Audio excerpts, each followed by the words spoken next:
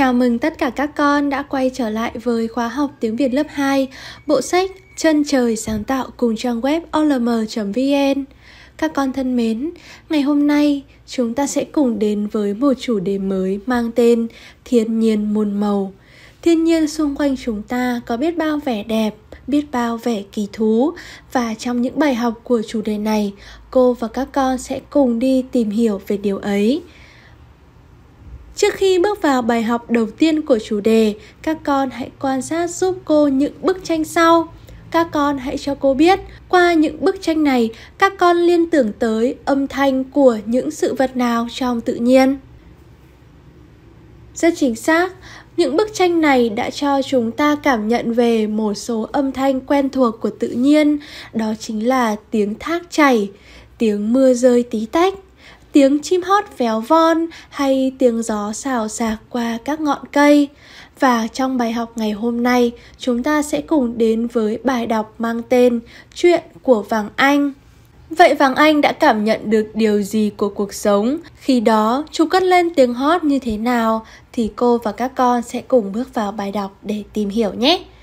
Bây giờ, các con hãy chú ý lắng nghe cô đọc mẫu bài đọc khi đọc, các con cần chú ý đọc phân biệt giọng nhân vật. Người dẫn chuyện thì chúng ta đọc giọng thong thả, nhấn giọng ở những từ ngữ chỉ suy nghĩ, hành động của chim vàng anh và các sự vật. Giọng vàng anh thì ngạc nhiên, vui tươi, giọng lá non, cỏ non và hoa hồng thì hồn nhiên. Chuyện của vàng anh Vàng anh vừa thức giấc, nó ngạc nhiên bởi có cái gì mới lắm, lạ lắm. Nó tò mò nhìn lá non. Bạn ở đâu đến vậy? Em mới mọc lên đêm qua. Còn bác lá vàng đâu? Bác ấy đã về cội ạ. Già thế, Chỉ qua một đêm, Lá vàng đã rụng xuống cho lá non mọc lên. Phải chia sẻ điều này với cỏ non thôi. Nó vừa xà xuống bãi cỏ, Đã nghe tiếng cười. Cỏ non cũng lạ ghê chưa?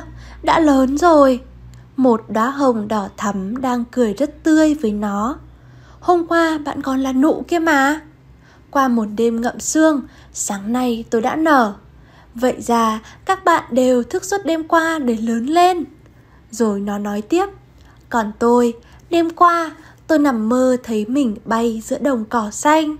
Nơi đó có hoa tỏa ngát hương, tất cả các loài đều biết hót. Rồi nó cất tiếng hót, la la, la la, la la la la. Theo Lý Lan. Vậy là vừa rồi, các con đã lắng nghe cô đọc mẫu bài đọc Chuyện của Vàng Anh. Trong bài đọc này có một số từ ngữ khó chúng ta cần chú ý về cách phát âm Đó là những từ ngữ cô tô màu đỏ trên màn hình Bây giờ các con hãy cùng cô luyện đọc những từ ngữ này nhé Cội Cội Xà xuống xa xuống. Ngậm. Ngậm. Ngát hương. Ngát hương. Bây giờ, các con hãy dừng video lại một lát để luyện đọc bài Chuyện của Vàng Anh giao cho thật trôi chảy nhé. Trong bài đọc này có một số từ ngữ khó chúng ta cần chú ý khi phát âm, đó chính là những từ sau. Vàng Anh, cội, xà, đóa và ngắt hương. Vàng Anh là một loài chim biết hót rất giỏi, có kích cỡ trung bình. Phần lớn chúng có màu vàng tươi với các vết đen sắc nét trên đầu, cánh hay đuôi. Cội là gốc cây to, lâu năm. Xà là bay thấp hẳn xuống hướng đến chỗ nào đó. Đóa là từ chỉ riêng từng bông hoa, và cuối cùng, ngắt hương là mùi hương dễ chịu và lan tỏa ra xa.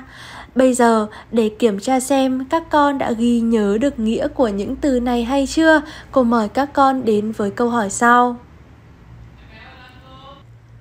Sau khi đã cùng đi luyện đọc, tìm hiểu các từ ngữ khó, cô và các con sẽ cùng đi tìm hiểu chi tiết về bài đọc Chuyện của Vàng Anh thông qua một số câu hỏi sau. Câu hỏi đầu tiên của chúng ta có nội dung là Vàng Anh ngạc nhiên về điều gì? Sau một đêm thức dậy, có rất nhiều thứ đã xảy ra và làm cho Vàng Anh ngạc nhiên. Vậy bây giờ các con hãy tìm giúp cô những điều ấy nhé.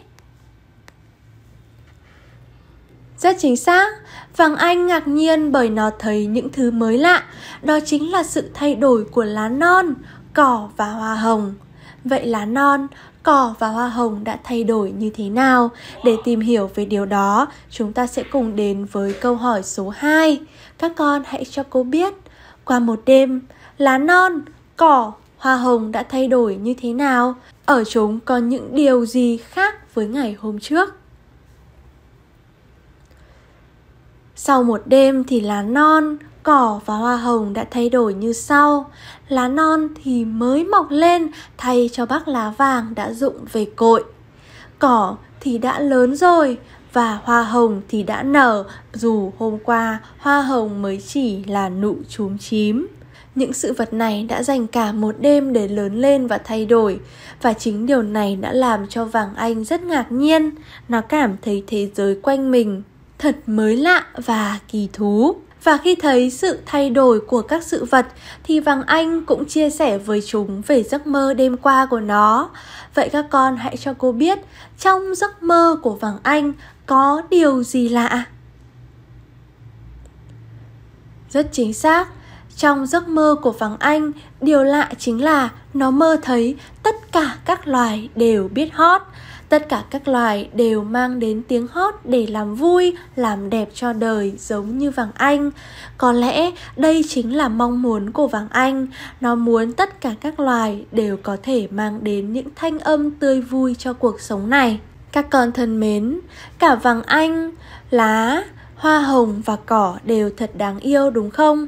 Mỗi nhân vật đều có một nét đáng yêu, đáng quý riêng và tất cả các sự vật này đều góp phần giúp cho cuộc sống của chúng ta thêm tươi đẹp. Cô mong các con sẽ đều biết yêu quý và trân trọng tất cả những sự vật xung quanh mình, từ những sự vật nhỏ bé nhất như lá cây hay ngọn cỏ. Vậy là vừa rồi, chúng ta đã hoàn thành việc đi tìm hiểu về bài đọc Chuyện của Vàng Anh. Tiếp theo, chúng ta sẽ cùng đến với một hoạt động mang tên Giọng ai cũng hay. Qua hành động này thì các con sẽ đọc phân vai chuyện chuyện của Vàng Anh. Ở phần đầu của bài học, cô đã hướng dẫn các con cách lựa chọn giọng đọc sao cho phù hợp với nhân vật người dẫn chuyện, nhân vật Vàng Anh, hoa hồng, lá cây và ngọn cỏ. Bây giờ cô sẽ nhắc lại một lần nữa để các con có thể chọn giọng đọc cho phù hợp nhé. Người dẫn chuyện đọc giọng thong thả, nhấn giọng ở những từ ngữ chỉ suy nghĩ, hành động của chim vàng anh và các sự vật. Giọng của lá non, cỏ và hoa hồng thì hồn nhiên. Vậy bây giờ, các con hãy luyện đọc lại câu chuyện chuyện của vàng anh và lựa chọn giọng kể cho cho phù hợp với từng nhân vật nhé. Và bài học ngày hôm nay của chúng ta cũng dừng lại tại đây. Cảm ơn tất cả các con đã chú ý quan sát và lắng nghe. Hẹn gặp lại các con ở những bài giảng tiếp theo cùng olm.vn.